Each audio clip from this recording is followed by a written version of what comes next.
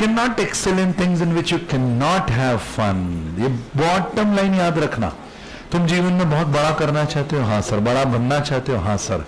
बहुत अच्छा करना चाहते हो हाँ सर। तो प्लीज़ प्लीज़ एंड प्लीज़ कोई ऐसा काम मत करना जिस काम को करने में आपको मज़ा ही नहीं आ रहा हो।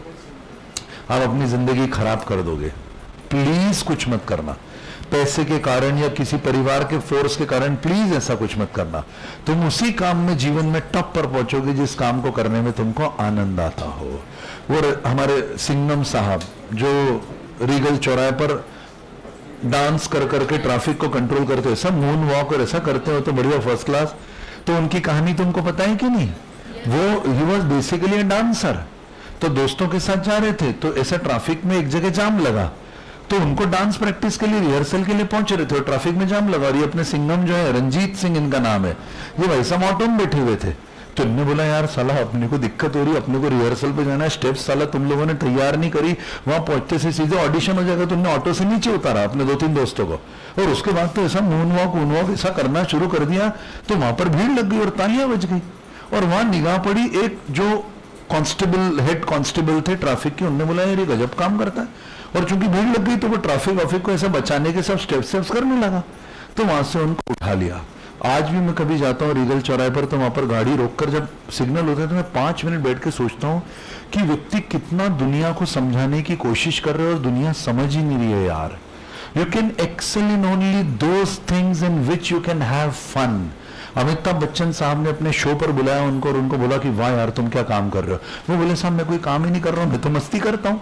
मैं तो रोज एंजॉय करता हूँ। वो तो ट्रैफ़िक अपने आप कंट्रोल हो जाता है। बाकी मेरा ट्रैफ़िक कंट्रोल करने को ही नहीं मैं तो सिंगम जैसा चश्मा लगाता हूँ फ़र्स्ट क्लास और उसके बाद जो डांस करना शुरू करता हूँ। तो देखो, एक छोटे से काम में कोई व्यक्ति पूरे समर्पण से जब ईमानदारी से अपना काम करता है तो वो एक्सेल करता है। You can not excel in things in which you can not have fun तो बेटा, ये परम्यूटेशन कॉम्बिनेशन पढ़ने में मज़ा भी उठाना नचाना क्योंकि अपने को इसमें मज़ा आ रहा है।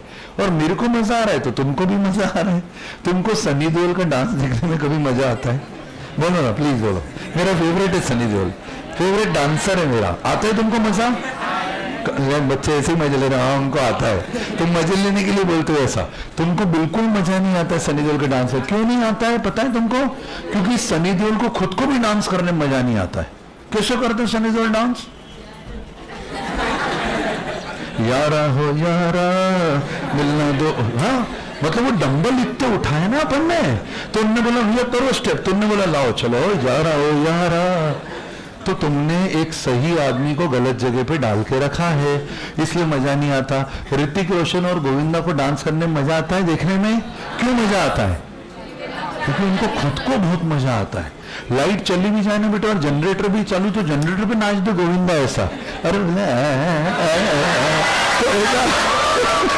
तो कहने कहने का मतलब ये है, मेरे भैया, हाथ जोड़े तुम्हारे, कहीं इसके चक्कर में अपना जीवन खराब मत कर लेना, कि तुमको मज़ा आ नहीं रहा है, पर तुमको लगा दिया कि सीए करना है। और अपन ने कमाओ अब तो उसको सिद्ध करने के लिए। ये ज़िंदगी ऐसी नहीं है कि किसी को सिद्ध करने में खराब की जाए। नाराज़ होकर कहती है, ज़िंदगी मुझसे एक जिद के लिए मुझे यूँ बर्बाद न कर। मत बर्बाद कर। और अगर मज़ा आता है ना कि हाँ सर यार, पढ़ाई में इंटरेस्ट आ गया सर परम्यूटेशन कॉम्बिनेशन चलो इतना गंदा टॉपिक था, फिर भी बहुत मज़ा आया सर। बस तो फिर चिंता वाली बात नहीं तो इसमें एक्सेल ज़रूर करेगा। किसी को प्रूव करने के लिए कुछ नहीं करना यार बेटा, सिर्फ़ इसलिए करना है क्योंकि उसमें आनंद है। और विश्वास करो, दुनिया टोचे मारेगी ज़रूर। ए ट्रैफ़िक कांस्टेबल कभी नाचता है साले इज़्ज़त खराब कर दी तूने। सब ट्रैफ़िक कांस्टेबल की। ऐसे सब टोचे मारेंगे।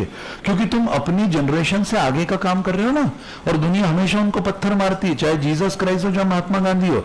जिन्होंने आगे की सोच रखी प्रोग्रेसिव थिंकिंग करी तो जब भी तुम कुछ अलग करने जाओगे, कुछ नया करोगे, बेटा पत्थर और टोचे तो पड़ेंगे ही पड़ेंगे। पर तुमको याद रखना है कि सर ने बोला था, अंदर से आनंद आता है यार दादा। फिर एक दिन वही सब लोग जिन्होंने तुम्हारी आलोचना करी है, वही तुम्हारे लिए ताली बजाएँगे। उदाहरण कोई और नहीं है, मैं स्वयं हूँ राजा इंजीनियर सीए है। ऐसा होता है क्या यार। बोलने यार, तेरे बोल, तेरे क्या, जो करना है तेरे जितना बोलना है नेगेटिव बोल।